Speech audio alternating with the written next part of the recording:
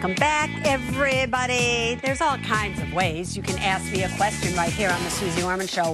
One way is by email. Come on, type in your email, send it in, and maybe it will get chosen and I get to answer it, which is why Lou comes on the set. Yep. He reads them to me. I got them right here. How are you tonight? Good. How are you? I got a Uh-huh. quick question uh, in relation to this email I'm going to read. Uh, what do you think of the tax code? Flat tax? You a flat tax girl? Like, what do you what do you think of the current uh, Are you asking me a political I am. question? Well, is it political? I think it's kind of political. All right. I actually would like to go to a flat. Really? Absolutely. I, I had a feeling. Had a Absolutely. feeling. That's why I asked. Don't, you really don't want to know what I really think. I do, but maybe you don't wanna say. You say. don't want to know what I think about half the things that go on in the United States today when it comes to our politicians, our tax code. Now you got me aggravated. Sorry. Read me the email. Sorry. I'm sorry. I apologize. Yeah, you got it. Kathleen, ah. Kathleen, age 55 in California. We have been hit with a large sum owed to the IRS. We cannot afford to fight it any longer.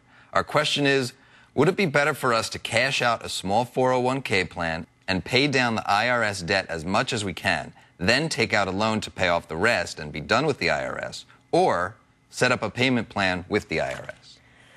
Oh boy, you know, you never want to mess with them. You never want to mess with them. Here's the problem if you cash out your 401k, it's going to get you into tax problems all over again because when you cash out a 401k, you will owe ordinary income tax on the entire amount you cashed out. And if you're not of the proper age when you do so, it's going to be a 10% penalty as well. If you don't have the money to pay your taxes now, how are you going to get to pay your taxes on your 401k and what you owe? No, don't do that. Don't do that. Don't do that. Here's the thing. If you can take out a loan at a lesser interest rate from someplace else and pay off the IRS, that's what you should do. Lesser interest rate than what? Than what the IRS is going to charge you to work out a loan problem with them.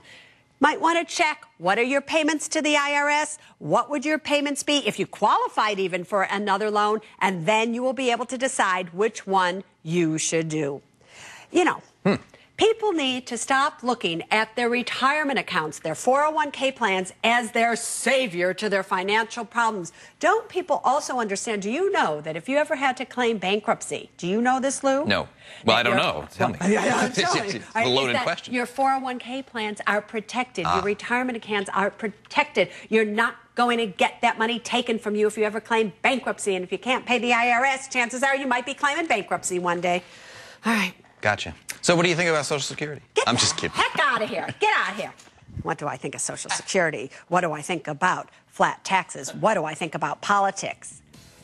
A lot. But here's what I know for sure there's only one thing that matters when it comes to your money, and it is this people first, then money, then things. Now, till next Saturday night, you stay